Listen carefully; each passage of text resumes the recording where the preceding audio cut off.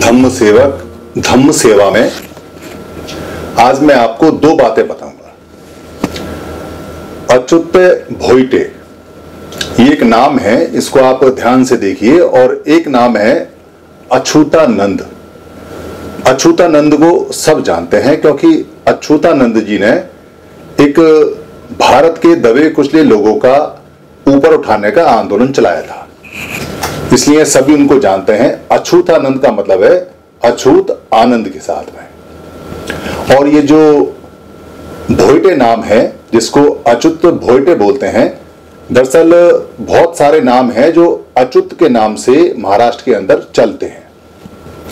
जो अच्युत भोइटे जी हैं, ये जो बुद्धिस्ट लोग हैं, जो भारत में बुद्धिस्ट विचारधारा के या प्रबुद्ध लोग हैं जिनको अपना नाम जनगणना में, मत जनगणना में, या कहीं कोई रजिस्ट्रेशन में कोई दिक्कत आती है, या कहीं रजिस्टर्ड कराना है, या अपना जो उन्होंने फिलोसफी है वो बदलवानी है, कोई पहले उनका मत रहा है और अभी उनको जो बुद्धिस्ट मत है वो सरकारी आंकड़ों में लिखवाना है, उसकी फॉर्मेलिटी के लिए, उसकी रजिस्ट्रेशन के लिए मैं उनके नंबर यहाँ दे रहा हूँ आपको। वो नंबर यहाँ लिखित में मिलेंगे। ये लगातार लोगों की सहायता करते रहते हैं। और लगातार लोगों को प्रेरित करते रहते हैं कि वो अपने सरकारी आंकड़ों में अपने आप को बुद्ध का अनुयायी, बुद्धिस्ट या बुद्धिस्ट फिलोसफी का या बुद्ध की कल्चर मानने वाला या बुद्ध चर्या मानने वाला या बुद्ध की जो प्रैक्टिस है उसे करने वाला लिखवाए वहाँ पर। इससे उनको फ़ायदा होगा और जनगणना में उनकी संख्या ज़्यादा आएगी तो उनको ज़्यादा सुविधाएँ मिलने का अधिकार मिलेगा। जनगणना में कैसे लिखवाना है, जो सेंसस आएगा उसमें कैसे, क्योंकि 2021 में जो मत गणना होगी, जनगणना होगी, उसमें जो फार्म भरा जाएगा, उसमें कैसे आप अपना एंटर कराएँ? या बीच में आपको अगर सरकारी दस्तावेज़ में अपना मत एंटर करवाना है कि हम बुद्धिस्ट मत के लोग हैं, हमारा मत बुद्धिस्ट या बौद्धिक होना चाहिए तो वो सारी प्रक्रिया, सरकारी प्रक्रिया, वो आपको अवेलेबल कराएँगे। आप उनको फ़ोन करें, वो आपको फार्म भरना, और आपको कोई नुकसान भी नहीं होगा। अगर आप ये सोचते हैं कि आपको आरक्षण में या रिजर्वेशन में कहीं कोई दिक्कत आती है तो वो नियम भी वो बताएँगे कि आपको कहीं दिक्कत नहीं आएगी, वो नियम आपको देंगे भी। इस प्रकार आपकी एक बड़ी मदद करेंगे जो वो धम्म की सेवा लगातार करते आ रहे हैं। अब बात करते हैं उनके नाम की, क्योंकि जो नाम है अच्युत भोयटे बेसिकली इसका बड़ा गहरा मीनिंग है। और जो अछूतानंद है, उसका भी बहुत है और दोनों ही नाम एक हैं। दोनों ही नाम एक हैं, मगर एक पाली में है और एक संस्कृत भाषा में इतना अंतर थोड़ा सा हो गया है। बेसिकली एक जो धमपद है, धमपद अगर आप ध्यान से पढ़ेंगे और ध्यान पद को पढ़ते पढ़ते आप उसको छानेंगे, उसको देखेंगे, उसका अन्वेषण करेंगे गन्वेषण करेंगे तो आप ये पाएँगे कि धमपद नंबर 225 में एक गाथा है। गाथा उसको कहते हैं जो सूत होता है, जो दो लाइनें, तीन लाइनें, चार लाइनें वहाँ लिखी होती हैं, या वर्सेस होता है, या आयत होती है, या सेंटेंस होता है, उसको गाथा बोलते हैं पाली के अंदर। तो क्या कहता है वो सेंटेंस? क्या कहता है 225 नंबर का जो धमपद गीता भी बोल सकते हैं, जो धमपद गीता या धमपद गीतो है, क्या कहता है? ए हिंसा का ये मुनियो निचंकायन संभुता ये यंती अचुतंग ठानंग यथ गणत्वा न सोच रहे ये सारा आप जो धमपद नंबर 225 है, वो पब्लिश है, उसमें देख सकते हैं। उसमें जो एक शब्द है अचुतंग ठानंग ये जो अचुत्तम ठानंग है इससे अचुत्त भोटे बना हुआ है। बेसिकली अगर अचुत्त में से ए निकाल दें तो ये हो, जा, हो जाता है च्युतंग ठानंग और ठानंग बोलते हैं स्थान को और च्युतंग बोलते हैं आज के समय में संस्कृत भाषा में जो कहते हैं कि ये च्युत हो गया यानी कि स्खलित हो गया गिर गया। और उस समय की भाषा में इसको गिरा हुआ बोलते थे। और अगर ए लगा दे तो उसका मतलब जो ना गिरा हुआ है, जो उठा हुआ है, जो स्थान पे बहुत उठा हुआ है तो उसको बोलते हैं ए चयुत या ए चुत।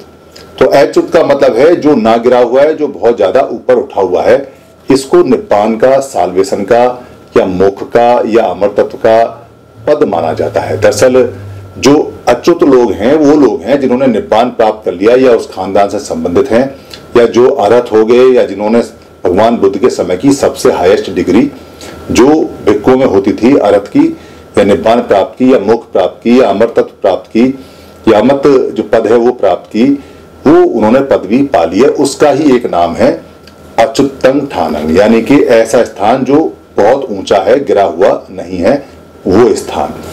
तो यहाँ जितने भी नाम हैं, क्योंकि जो ये अचुत भोयटे हैं, भो का मतलब होता है श्रीमान। एक मैंने भो श्री की एक वीडियो बनाई हुई है, आप उस वीडियो को देख सकते हैं। भो माने होता है, जैसे कहते हैं, ओ श्रीमान, आइए श्रीमान, जो आज के समय में बहुत ज़्यादा सम्मानजनक होता है। और श्री माने होता है सर, यानी मुख्य, यानी हेड तो हम कहते हैं, ओ श्रीमान, आइए, यानी कि जो आप मुख्य हैं, वो आइए। और यहाँ जो यति का मतलब है भोयटे का मतलब है भो यति। यति का मतलब होता है साधु या मंक या भिक्खु। यानी ओ श्रीमान भिक्खु, यानी कि बहुत ज़्यादा रेस्पेक्टेबल भिक्खु। और अच्युतंग का मतलब हो गया, जो निब्बान प्राप्त अर्थ है। तो ये भिक्खु का नाम है अचुतंग भोइटे का मतलब है, जो निब्बान को प्राप्त है, बहुत ज़्यादा गणमान्य है, बहुत ज़्यादा बढ़िया है, ओ श्रीमान जैसा है, और जो भिक्खु है और जो मंक है, जो साधु है। तो ये इस तरह से आता है। इसी को बाद में अच्युतानंद को अछूता बोला गया, यानी जो अच्युत है, उसको अछूत बोला गया। अछूत पाली में कहीं कोई शब्द नहीं है। पाली में अछूत ऐसा कोई शब्द नाम का है ही नहीं, क्योंकि पाली में अगर किसी को छूना हो तो उसको बोलते हैं फस बोलते हैं। और अगर ना छूना हो तो उसको एफस बोलते हैं। तो पाली में जो अछूत है, उसको संस्कृत भाषा में अछूत बोला गया, और अछूत को कहा गया अनटचेबल बेसिकली इतने ज़्यादा ऊपर वो लोग होते थे, पढ़ाई में, लिखाई में अर्थ होते थे, कि नीचे वाले जो साधारण लोग हैं, वो उनको छू ही नहीं पाते थे। इसलिए इसलिए उनको अनटचेबल या इसलिए उनको अछूत को अछूत किया गया। और छू शब्द बाद में आया है, छूना शब्द बाद में आया है। पाली का शब्द नहीं है, इसका कुछ मतलब और होता है। तो वो हाईएस्ट लेवल पे होते थे, इसलिए उनको अछूत बोला गया। भारत के जितने भी आज के समय के गरीब और जो दबे कुचले हुए लोग हैं, जिनके संसाधन खत्म है, जिनके पास कुछ नहीं है और जो भारत मूल के हैं, उनकी एजुकेशन और उनकी डिग्रियाँ बहुत ऊँची रही हैं। अछूत जो शब्द है, वो बहुत गौरवशाली और बहुत बड़ा शब्द है। अछूत का मतलब है अर्हत। और जो अच्युत भोइटे है, इसका मतलब है कि ओ श्रीमान भिक्खु, जो बहुत ऊँची अवस्था में अर्थ अवस्था में है। तो अछूत जो बोलते हैं या अछूतानंद जो बोलते हैं, अछूतानंद का मतलब है कि उस ऊँची डिग्री पे जहाँ कोई छू ना सके, उसका आनंद लेने वाला।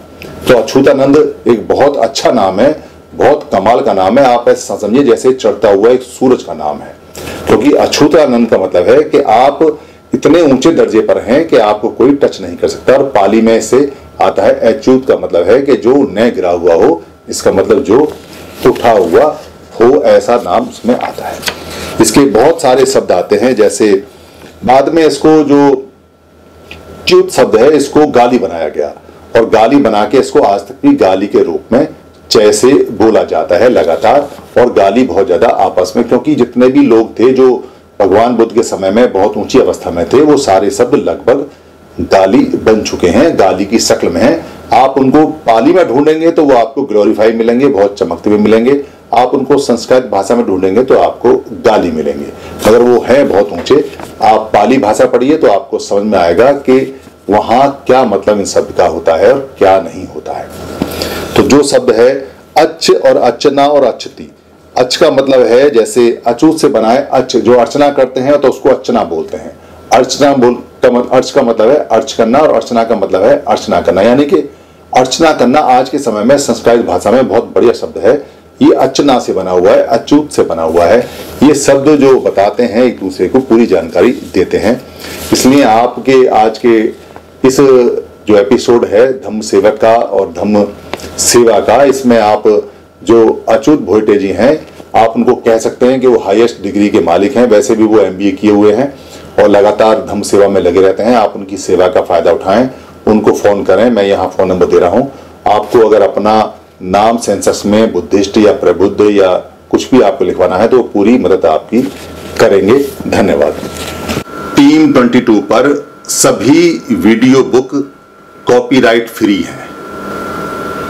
आप अपने पोर्टल पर, अपने यूट्यूब पर, अपने फेसबुक पर या किसी भी, जो भी ऐप है, उस पर आप यहाँ से डाउनलोड कर कर, टीम 22 से या फेसबुक से या मेरे पेज से कहीं से भी कोई भी वीडियो ले सकते हैं, उसको डाउनलोड कर सकते हैं, उसमें अपने नाम का कुछ भी ऐड कर सकते हैं या अपनी कमेंट्री कर सकते हैं। उस वीडियो का कोई भी पार्ट आप ले सकते हैं, उसका प्रिंट मटेरियल भी बना सकते हैं। उसको किसी भी भाषा में आप बदल सकते हैं, उसका ऑडियो चेंज कर सकते हैं, उसका वीडियो ले सकते हैं। आप जैसे भी चाहें टीम 22 की किसी भी वीडियो का या सारी वीडियो का इस्तेमाल कर सकते हैं। ये हमेशा कॉपीराइट फ्री थी और हमेशा कॉपीराइट फ्री रहेंगी। हमारा सिर्फ़ इतना काम होता है कि महापुरुषों की जो बातें हैं, उन बातों को हम सरल भाषा में, आम भाषा में आप तक पहुँचा देते हैं।